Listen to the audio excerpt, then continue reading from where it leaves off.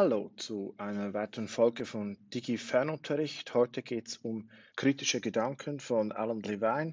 Ich habe mal zur Ausnahme eine Präsentation vorbereitet, durch die ich durchgehen werde, um zu erklären, was Levine sagt und weshalb er fordert, weg vom Bildschirm, ähm, versucht nicht euren Unterricht online durchzuführen. Wie meint er das? Was heißt das konkret für die aktuelle Situation? Wie komme ich zu solchen Texten? Das vielleicht so kleiner Exkurs. Ich bin auf Twitter vernetzt mit Menschen, die über Bildung nachdenken. Das ist für mich ein Ersatz für die Zeitungslektüre, ein Ersatz auch für Fachdiskussionen. Und Martin Lindner ist ähm, eine, ein Experte, der sich schon seit Jahrzehnten mit digitaler Bildung beschäftigt, der, ähm, der auch äh, mit mir schon kooperiert hat, Bücher geschrieben hat und was er hier empfiehlt, ist dieser Blogbeitrag von Alan Levine. Levine ist auch ein Pionier, wenn es ums Online-Lernen geht. Also der weiß, wovon er spricht. Wovon er spricht, ist ein riesiges Experiment in Online-Learning. Ihr seht hier das Ausrufezeichen, die Illustration und dann ähm, mal schauen, ob wir da wirklich auch erschlagen werden. Ähm, äh, was er sagt, ist, Levine hat nie versucht, seinen Unterricht, seine Kurse online zu stellen, sondern er hat versucht, Menschen zu helfen, creative ways zu finden, um Technologie, Medien, Internet so einzusetzen, dass ihr Unternehmen, ihr Lehren ähm, dadurch gestärkt, verbessert wird. Also das wäre so wie das Erste, was wir von diesem Beitrag mitnehmen. Versucht nicht das, was ihr im Unterricht macht, online umzusetzen, sondern versucht zu schauen, wie kann ich online etwas tun, um wirksam zu sein in Bezug auf das Lernen der Schülerinnen und Schüler. Was können sie in dieser Situation auch mit Medien, auch mit dem Internet tatsächlich lernen? Ähm, Levine weist darauf hin, dass wir jetzt im Prinzip ins kalte Wasser gestoßen werden, dass wir ein Experiment machen, um diese Brücke, diesen, diesen Abgrund zu über, queren. Das heißt, wir haben die Pioniere, dann haben wir die, die Technologie zuerst einsetzen im Unterricht und dann kommt lange nichts mehr und dann kommt so ein bisschen die Mehrheit. Und jetzt werden plötzlich alle Lehrenden ähm, mit der Frage konfrontiert, wie geht man damit um, dass jetzt Fernlerne, Fernlehre, Fernunterricht angesagt ist. Und da sagt er, dieses Experiment wird nicht so einfach verlaufen und gibt ein paar Tipps, von denen wir ausgehen müssen. Nämlich, wir müssen improvisieren. Ähm, erwartet nicht perfekte Lösungen, ähm, habt auch nicht den Anspruch an euch, nicht den Anspruch an andere, dass das alles perfekt funktioniert. Ihr seht auch in diesem YouTube-Kanal, ich mache hier nicht ähm, den, den, Hochglanz, sondern ich versuche so quick and dirty Lösungen zu finden, die funktionieren, die das rüberbringen, was ich sagen will und nicht unbedingt ähm, Hochglanz auf Hochglanz poliert sind. Do the best you can. Das heißt, ähm, seid zufrieden mit dem, was ihr leisten könnt. Setzt das um, was für euch möglich ist. Ähm, messt euch nicht immer an zu hohen Ansprüchen, auch in Bezug auf den Einsatz der Technologie geht grundsätzlich davon aus, dass das, was ihr technologisch machen wollt, nicht funktioniert.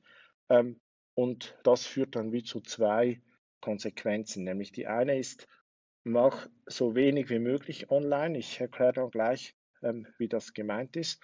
Und das Zweite, was es heißt, dass man davon ausgeht, dass Technologie nicht funktioniert, du brauchst einen Backup-Plan. Also überleg dir, was machst du, wenn das nicht geht, was, was du machen willst. Ich komme gleich darauf zurück. Levine sagt, ähm, online und offline ähm, verhalten sich so zueinander. Wir brauchen in diesem Distanzlernsetting online, um miteinander reden zu können. Wir brauchen es, um die Bedürfnisse anderer Menschen wahrzunehmen. Man hat auch Bedürfnisse in Bezug aufs Lernen, in Bezug auf die Schule. Schülerinnen und Schüler brauchen diesen Ort für soziale Eingebundenheit. Also das müssen wir online auch berücksichtigen.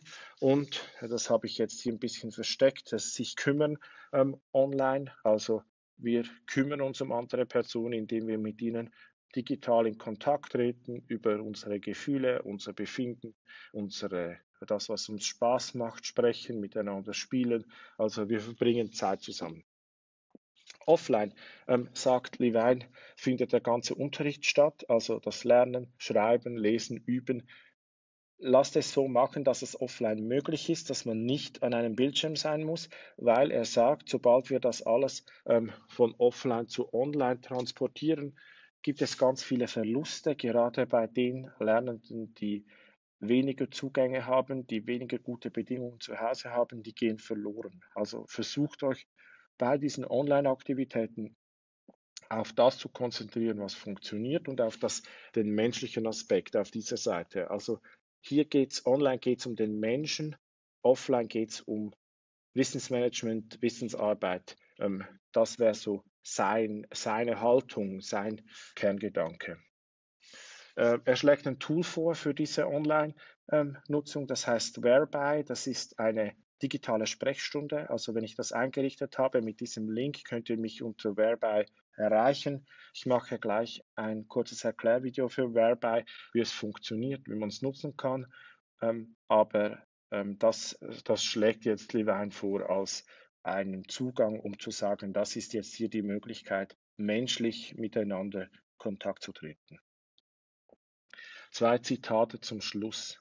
Also, was ich schon gesagt habe, ist, es braucht Backup-Möglichkeiten. Backup ist E-Mail und Chat. Also, ihr braucht von allen Lernenden eine E-Mail-Adresse und eine, einen Kontakt, mit dem ihr sie im Chat erreichen könnt. Also Telegram-Gruppe, ähm, ein Teams bei Office 365 ein, einrichten, mit dem wir wie sagen können, jeden Tag gibt es einen Kontakt zwischen Lehrenden und Lernenden, um zu sehen, was läuft bei ihnen, wie geht es ihnen. Diesen to be in touch with you, das ist jetzt ganz, ganz wichtig, das herstellen zu können mit etwas, was technologisch so stabil ist, dass es wirklich auch immer funktioniert, auch wenn Videokonferenzen vielleicht nicht möglich sind.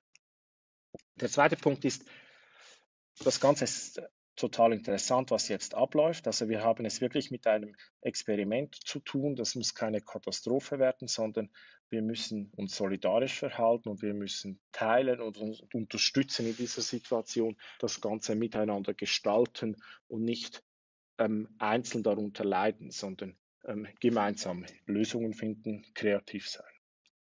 Wenn ihr mehr von Levan lesen wollt, das ist ein Blog. Ich verlinke den wie immer auch unten. Und wenn ihr Fragen habt, Ergänzungen, Kritik an dem, was ich gesagt habe, ich freue mich sehr von euch zu lesen und auch teilt doch mit mir, was ihr teilen möchtet. Ich verbreite das gerne weiter und greife es auf. Danke fürs Zuschauen. Bis bald.